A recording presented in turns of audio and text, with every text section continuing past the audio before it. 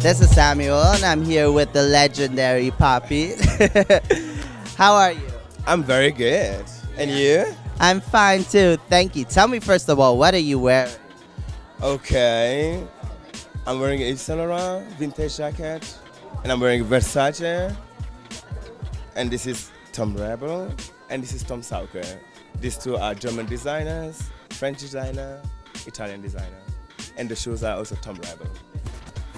That looks really hot. thank you. Could you tell us what is your inspiration when you're standing in the front of the mirror? What is your inspiration? How do you dress up? How do you put things together?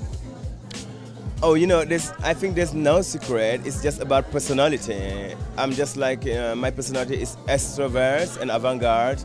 I just want to do something that people, you know, what is mean avant-garde that people don't see now. Maybe they they see in extreme or they see in, in future. You know, so it's that's why I look at myself and I say, okay, wear something that you say, oh my God, it's too much, and I said, okay, go out. Then it's okay. Have you sometimes wear something where you saw it like in the press and you were like, oh my god, did I really wear that? Yeah, yeah, definitely. That's after, yeah, of course. Because you see in the mirror, you said, oh my God, it's too much. And after you see in the picture, you said, was it me? No, I think it was too much. But that's okay, you know. That's how it have to feel, I think, fashion. This is fashion talking is about avant-garde. So you know it better than me. Well, you know, what I really wanted to know is um, you lived in Paris. And how do you move from Paris to Munich? And why Munich? Okay, actually, I have to say, I lived in Paris because I was studying in Paris, and actually, I met so many talent scouts in Paris. They wanted to make me model, and I said no because I wanted to study. And one day I go to Milan, and I met a woman. She was fantastic, fabulous, and she put me in fashion. I said no, but she still like hitting me, calling me, and I said okay. Then I try. Then I tried, but everybody was saying in Milan it's impossible, it's impossible for black men. I said, no, I would make it because I hate when people talking about impossible. Nothing is impossible, you know. So why Munich?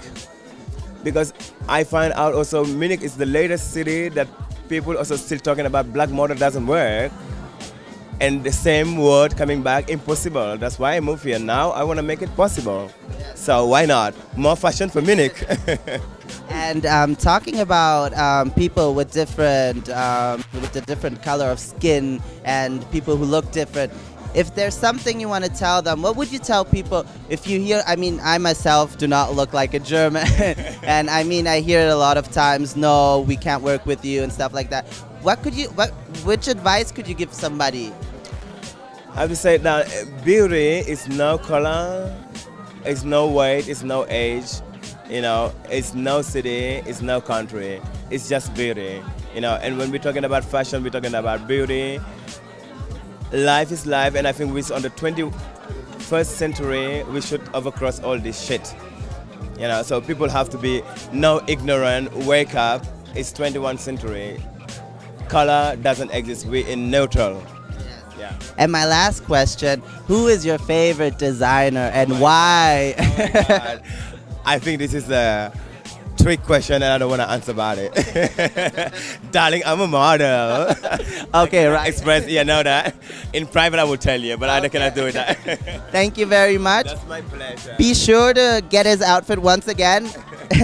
the nice shoes. Okay, Tom Rebl, Versace, Yves Saint Laurent Vintage, Tom Rebl again, Tom Sauker, and this is a vintage. No, no name. Cool.